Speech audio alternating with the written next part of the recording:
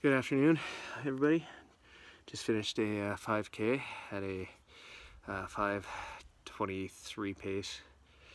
So I think that's my second fastest 5K pace this year. Um, haven't been running for a bit just because on the weekend here it was just really terrible weather. It's a lot of rain um, and cold and wind.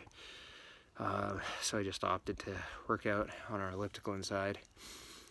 But uh, got out and ran some intervals, um, which is good.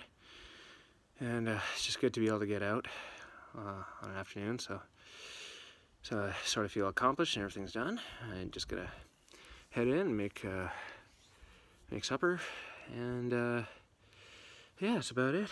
But uh, hopefully I'll get some more runs in. We got a long weekend coming up. It's actually a five-day long weekend for us.